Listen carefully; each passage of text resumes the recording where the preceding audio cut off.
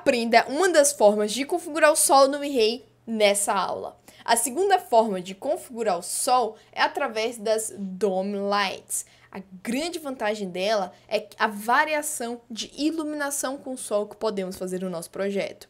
Para usar as Dome Lights, temos que usar um arquivo externo, da mesma forma que aconteceu com as IES Light. Porém, aqui o formato dessa luz é no formato .hdr. Dentro desses arquivos em HDR, sempre tem uma imagem em 360 graus de uma determinada paisagem, como vocês podem ver nessas imagens. Essas são as paisagens que você pode inserir na sua cena, no seu projeto, através desses arquivos, tirando aquele céu pálido que o V-Ray Sun nos apresenta de forma tradicional. Para quem estiver acessando o curso, eu vou disponibilizar alguns dos meus HDR de forma gratuita, ok? E como é que você faz para usar esses arquivos no seu projeto? Bem, aqui no V-Ray, lembra que pulamos aqui um, um ícone em formato de cúpula bem aqui na V-Ray Lights?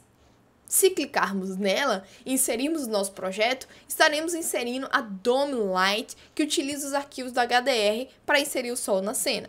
Porém, se simplesmente colocarmos essa Dome Light aqui no nosso projeto, dessa forma, sem fazer mais nada, estaremos literalmente tornando realidade a música do KSAL. Quando o segundo sol chegar... O segundo sol chegou aqui para esse projeto.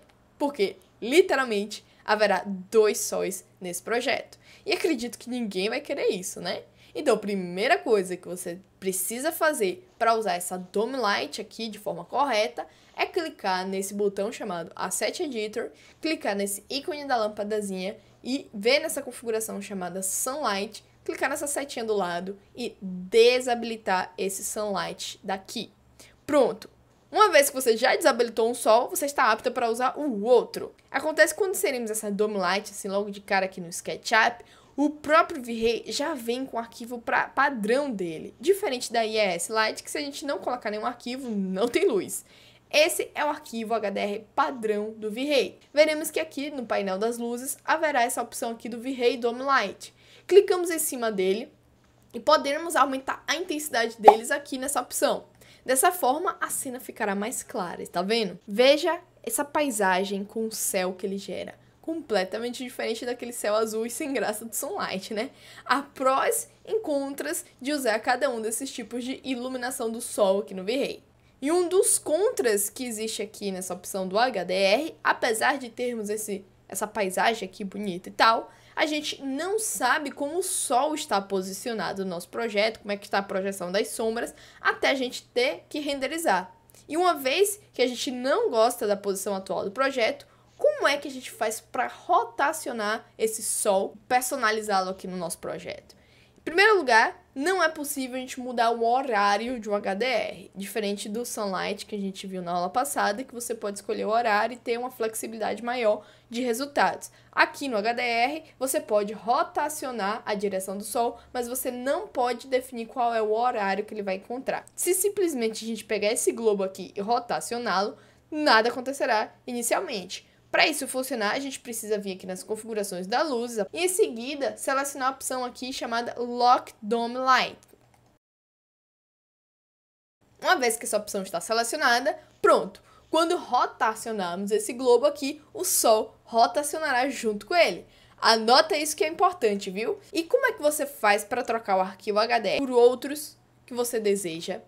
Você vai ter que fazer o seguinte: nesse quadradinho quadriculado azul, clique em cima dele. Em seguida, clique nesse ícone daqui e abrirá uma nova janela para você buscar um arquivo no formato específico HDR. Eu vou selecionar esse daqui. Pronto. Agora, se ele estiver escuro, basta aumentar bem aqui a intensidade dele. Acontece que você verá a parte de cima do céu, certo? E a parte de baixo aqui está toda escura, correto? Para você consertar isso, você precisa abrir aqui as configurações da Dome Light e habilitar essa opção chamada aqui Spherical. Automaticamente, o HDR completo aparecerá na sua cena. Olha que bacana que fica, né, gente? Agora, um alerta, presta atenção aqui para o seguinte. O HDR que vem com o próprio V-Ray, ele não é completo. Se você inserir ele aqui na cena e habilitar aqui o Spherical para torná-lo inteiro no render, não adiantará nada porque ele só vem com o céu, ele não vem com a paisagem completa. Aqui está agora apresentado para você, de forma simples e direta, como se configurar a luz do sol no seu projeto. Acabamos de fechar com chave de ouro o nosso curso básico de Virrei para iniciantes. Observe que se você assistiu todas as aulas, você sabe que faz cada um desses botões aqui da barra de ferramentas do Virrei. Você já verá diferença em seus trabalhos seguindo as instruções dessas aulas. Porém, acredite, existe um passo a passo muito mais estruturado, muito mais poderoso, focado em resultados de mais realistas para projetos arquitetônicos. E esse passo a passo entrego de forma detalhada, didática e dinâmica no meu treinamento completo de renderizações realistas. Se você gostou dessa aula e gostaria de dar um próximo passo, gostaria de dar continuidade se aprofundando no V-Ray, eu lhe convido para entrar na lista de espera e receber as informações de quando eu irei abrir uma nova turma. Será um prazer enorme recebê-los, os alunos do V-Ray para iniciantes, no meu treinamento completo. Grande beijo e até a próxima!